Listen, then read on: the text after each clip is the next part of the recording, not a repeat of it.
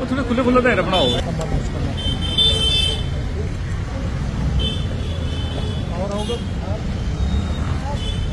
School education department के द्वारा बहुत ही एक अच्छा इनिशिएटिव है नौ सितंबर को पुंछ से यात्रा शुरू हुई थी तो शांति और अहिंसा का संदेश देते हुए, सर्वधर्म संभाव का संदेश देते हुए यात्रा पुंछ राजौरी, रियासी, उधमपुर, डोडा, किश्तवाड़ से होते हुए हमारे पास कठुआ पहुँची है। इसका हम यहाँ बहुत स्वागत स्वागत कर रहे हैं और बहुत बहुत इनको बधाई होगी इतनी बड़ी यात्रा का आयोजन कर रहे हैं। यहाँ से ये यात्रा अलग अलग जोन से होते हुए, सांबा और फाइनली जाके जम्मू में टीचर भवन में इसका समापन होगा।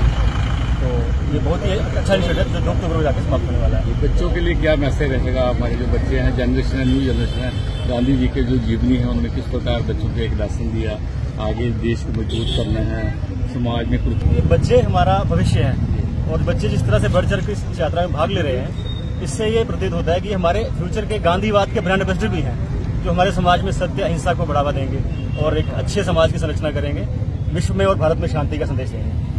जी और आगे कहाँ हमारा ये school education department J and K UT school education हमारे आज 175 में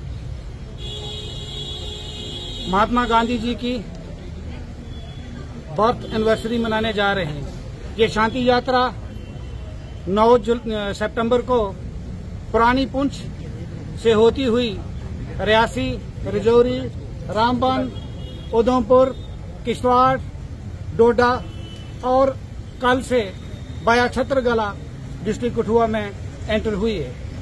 ये यात्रा इसका उद्देश्य देश भर में जो बापू जी का सपना था और जिसके लिए उन्होंने अपनी जान त्यागी थी, इस देश के लिए वो है पीस नॉन वायलेंस अनटचेबिलिटी और उस आधार पर ही आज हम ये स्कूल एजुकेशन डिपार्टमेंट की तरफ़ से बच्चों को साथ लेके शांति यात्रा निकालने जा रहे हैं। ये यात्रा 9 सितंबर से ही चल रही है और ये 2 अक्टूबर को टीचर भवन जम्मू में पहुंचेगी और कल्मिनेशन वहाँ पे होगी। कठुआ में ये। कहाँ कहाँ जा रही है? जैसे आज कठुआ में ये हमारे छतरगला जो कि लास्ट हमारा जंक्चर है डोडा और हमारे कठुआ का वहाँ से बायाबनी बसोली महानपुर और रात को ये यात्रा, इसका जो नाइट स्टे था वो बसंतपुर हाई सेकेंडरी में था।